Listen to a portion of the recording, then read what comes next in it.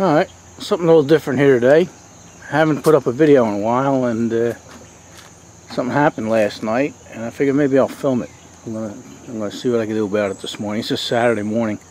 But last night I uh, I mowed the grass and you can't tell because it's so short in some spots but uh, only half the half the yard is done uh, because uh, I was I was mowing it no problems and then uh, I thought I was low on fuel. So I drove it over and uh, brought it over here in front of the garage to fill it up with fuel. And uh, I filled it up with fuel and wasn't able to start it after I filled it. So I, like I said, I drove up here, parked it, and it was running fine. And uh, now, I, uh, or last night, I, I couldn't start it and uh, I even put the starter fluid and stuff like that. And I noticed when I was trying to start it it was spinning kind of fast. And uh, I even tried to turn it right? This is, a, this is an 11 horse. It's 40 years old. And uh, I'm able to spin it with my my fingertips you know? So there's there's no compression. And then I uh, I figured, well, maybe it's not getting fuel or something, you know, so I sprayed some carb uh, stuff down there, you know, starter fluid, and uh, it backfired. Backfired a couple times and even started a fire, so uh, let me put you on a tripod and we'll show you what it's doing before we take it apart. I didn't, I didn't start taking anything apart. I, I got the carburetor hat off from yesterday and then uh, I just took the hood off, so let me put you on a tripod and uh, we'll uh, investigate this together. I'm thinking it might be a sticky valve, or I hope, or something, but we'll see. Something, something's not right. All right, be right back.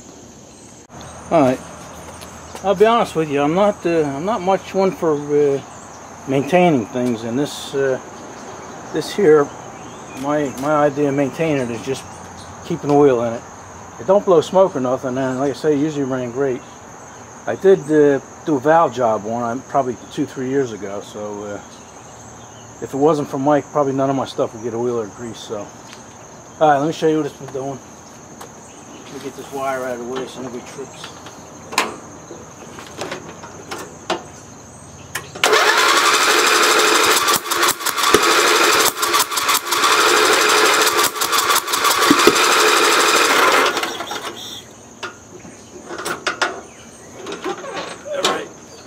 Go. Like I say, it's it spins it spins way too freely for a, an 11 horse, and it was backfiring out of there. So that tells me it might have something to do with the intake valve. All right, so let me take this apart, and then we'll uh, we'll take a look at it. All right, yeah, we're all unbolted here. I didn't take anything off, so uh, we'll all see it once, you know, if uh, it's anything else. So, like I say,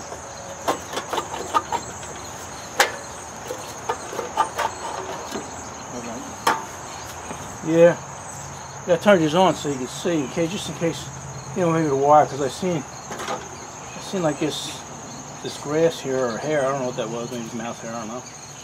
And uh, I figured I'd let you see it in case something was uh, chewed up and it was uh, ignition or something. But uh, all right, this is all clear. This is there's no grass down there or anything, so that's that's a good sign. All right, let's continue on. Alright, just about got yours unbolted here. So let's take a look at it.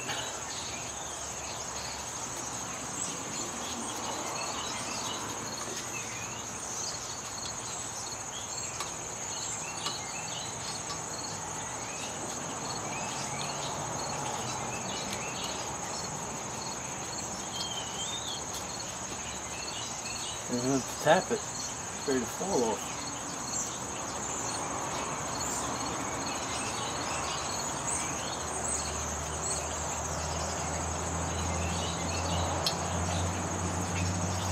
Oh man. That's not good. It's funny.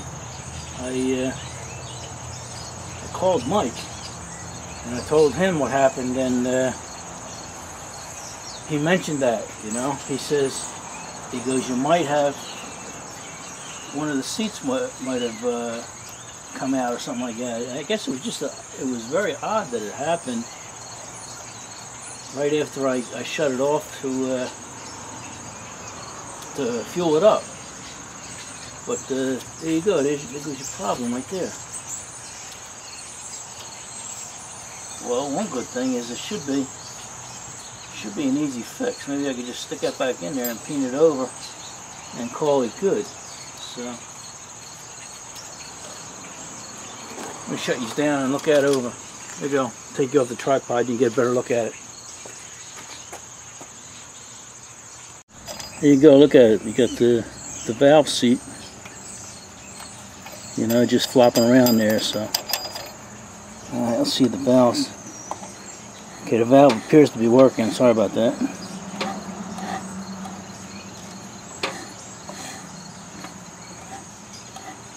Alright, so let's uh, let's take that out and look it over.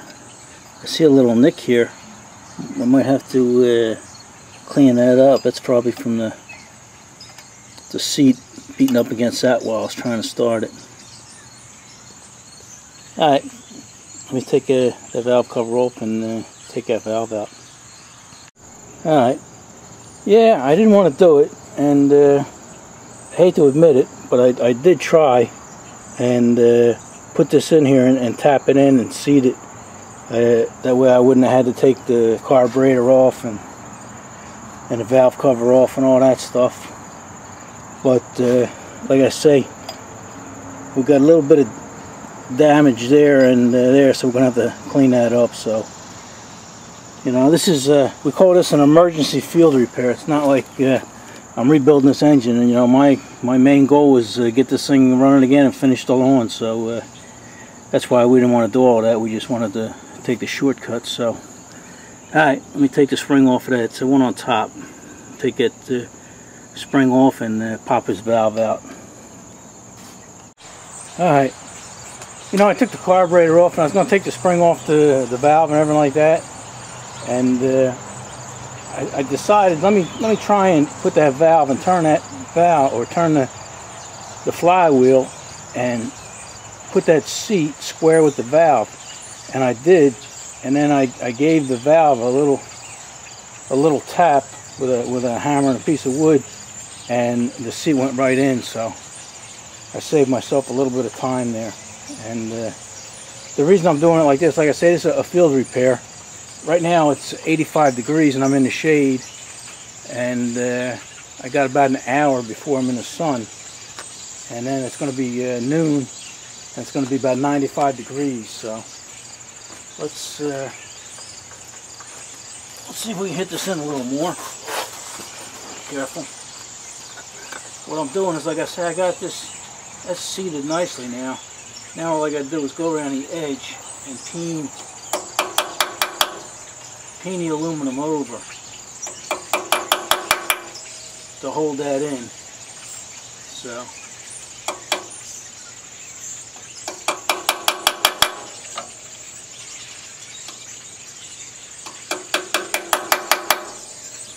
Let me go around and uh, put more more pins in that, and we should be okay.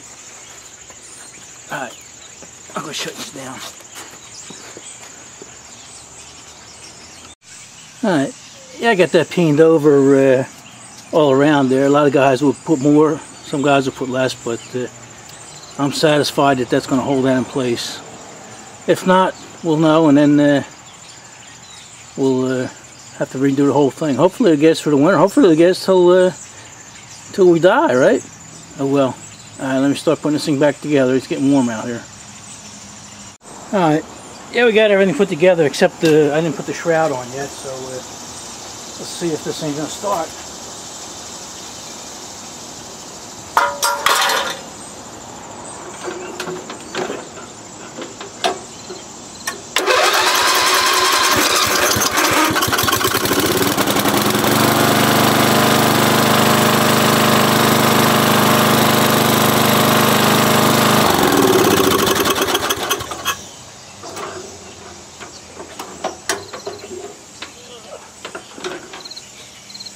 Alright, we're happy with that.